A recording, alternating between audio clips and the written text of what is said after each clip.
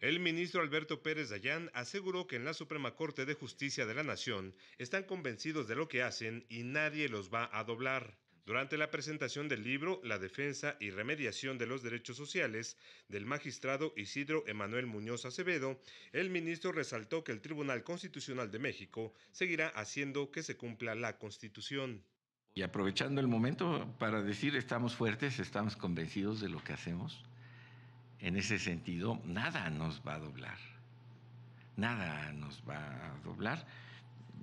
Se lo he dicho a todos, el día que la Constitución cambie y diga otras cosas, haremos que esas otras cosas se cumplan. Pero mientras no estén, haremos que se cumplan las que están, a costa de lo que sea.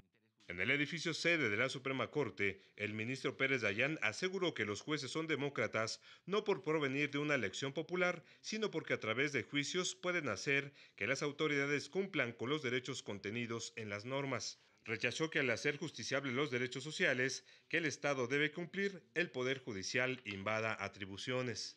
Y en la defensa de las parcelas, el Ejecutivo, y con mucha frecuencia también hoy ya, por imitación el legislador nos anuncia que nos estamos entrometiendo en sus funciones.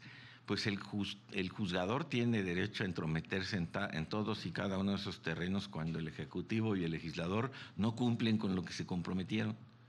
El juez entonces se convierte, a pesar de que su origen no es electoral, en un juez demócrata, porque aquello que se exige se tiene que cumplir a través de sus sentencias. Luego de explicar lo complicado que sería elegir a los jueces en nuestro país, el ministro Pérez Dayán dijo que los jueces deben tener mesura a la hora de emitir sus sentencias relacionadas con los derechos sociales a fin de no caer en excesos que hagan difícil su cumplimiento. Para el canal del Poder Judicial de la Federación, Juan Carlos González.